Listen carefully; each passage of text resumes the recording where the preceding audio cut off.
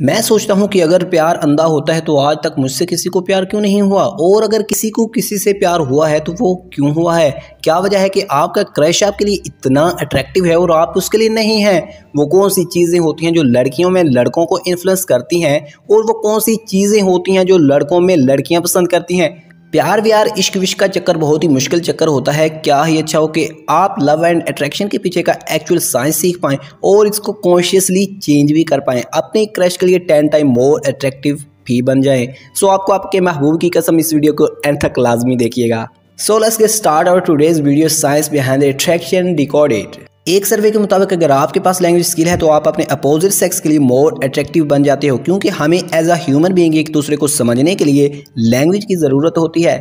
जैसे ही सामने वाला अच्छी कम्युनिकेशन करता है तो वो प्यार की जाने भी एक कामयाब कदम बढ़ा चुका होता है, क्योंकि इंसानी जज्बात और एहसास अच्छी कम्युनिकेशन के ज़रिए ही एक्सप्रेस हो सकते हैं। इससे पहले कि हम ये जानने की कोशिश करें कि अपने क्रश के लिए अट्रैक्टिव कैसे बन सकते हैं, इससे पहले ये जान लेते हैं कि वो कौन सी चीज़ें हैं जो आप सामने वाले में ऑब्ज़र्व करते हैं। हम बचपन से ही सुनते आ रहे हैं कि प्यार तो दिल से होता है जब कोई आपको पसंद आता है तो आपका दिल भी उस पर आ जाता है। सो गाइज़ क्या वाकई में ऐसा है कि हमारा दिल जिसे खून पंप करने से फुर्सत नहीं है, क्या इन चक्रों में पड़ेगा? किसी को देखते ही या बात करते ही आपको जो फीलिंग्स आने लगती हैं या स्टार बजने लगते हैं, वो एक्चुअली में तुम्हारे माइंड में चल रही एक्टिविटीज़ होती हैं। बल्कि पूरे आपके बॉडी में ये सिग्नल ट्रांसफ़र हो जाते हैं और आप उस वक्त ये फैसला कर लेते हो कि सामने वाला आपके लिए एकदम परफेक्ट हो in terms of survival and reproduction और ये मैच मेकिंग की प्रोसेसिंग स्टार्ट होती है आपकी आँखों से। हमारी आँखें ये डिसाइड करती हैं कि कौन हमें अट्रैक्टिव लगता है और कौन नहीं।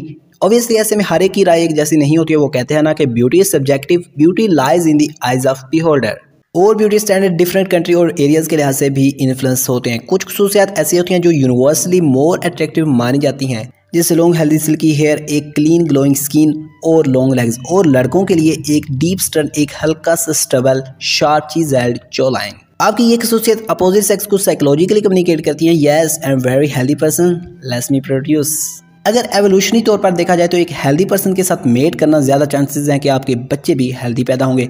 एक बार आपकी आँखों ने चेकआउट करके तसल्ली कर ली तो इसके बाद रोल आता है आपके नाक का। सामिर ब्रिटेन सर्वे की रिपोर्ट के मुताबिक हम 60 करोड़ रुपीस परफ्यूम पर स्पेंड करते हैं। मतलब हम कॉन्शियस हैं कि हमें से किस किस्म की बू आ रही है। लेकिन नहीं, हमारी नाक का रोल सिर्फ़ परफ्यूम को सूंघना नहीं होता है। इनफैक्ट मेल्स फीमेल्स की बॉडी से खारिज होने वाले केमिकल मैसेंजर फेरेमोन से ज़्यादा इन्फ्लुएंस होते हैं। वहीं फीमेल्स मेल्स की बॉडी से निकलने वाले केमिकल मैसेंजर एमएचसी मतलब मेजर हिस्टो कंपेटिबल कॉम्प्लेक्स की स्मेल से ज़्यादा इन्फ्लुएंस होती हैं। एमएचसी बेसिकली आपको ह्यूमिडिटी प्रोवाइड करते हैं और इसीलिए अपोजिट सेक्स अट्रैक्टिव होते हैं। जो एमएचसी का टाइप फीमेल की बॉडी में होगा, ठीक उसके अपोजिट टाइप के मेल एमएचसी की स्मेल से वो फीमेल अट्रैक्ट होगी। और इनफैक्ट अलग अलग एम से बच्चे के सिस्टम में आना, उसका सिस्टम और भी डाइवर्स हो जाएगा एंड इन टर्म्स उसे मेजर सर्वाइवल एडवांटेज भी मिलेगा। नाक के रोल के बाद आता है हमारे कानों का रोल। औरतों को ज़्यादातर लो पिच्ड वॉइस पसंद आती है, एक डीप सी वॉइस और मर्दों को हाई पिच्ड वॉइस ज़्यादा अट्रैक्टिव लगती है।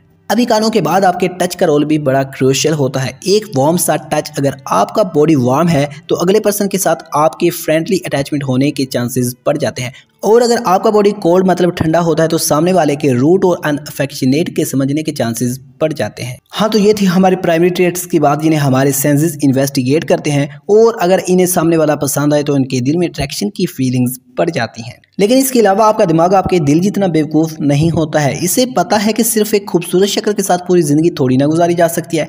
इसके अलावा आपके दिमाग के कुछ पैरामीटर्स होते हैं, जिनके टिक होने के बाद आपका प्यार क्रश में कन्वर्ट हो पाएगा। और इस सिचुएशन को एक्सप्लेन करने के लिए काफ़ी सारी थीरीज मौजूद हैं जो इस प्यार, व्यार, इश्क, विश्क के चक्कर को मजीद साइंटिफिकली हमें समझा सकती हैं। अगर ये वीडियो आपको पसंद आई हो तो इसे लाइक करें और शेयर करें। इससे पहले हमने एक वीडियो बना रखी है, क्या वाकई प्यार अंधा होता है? आप उस वीडियो को भी लाजमी देख लीजिएगा। मिलते हैं एक नई वीडियो में, तब तक के लिए अल्लाह ने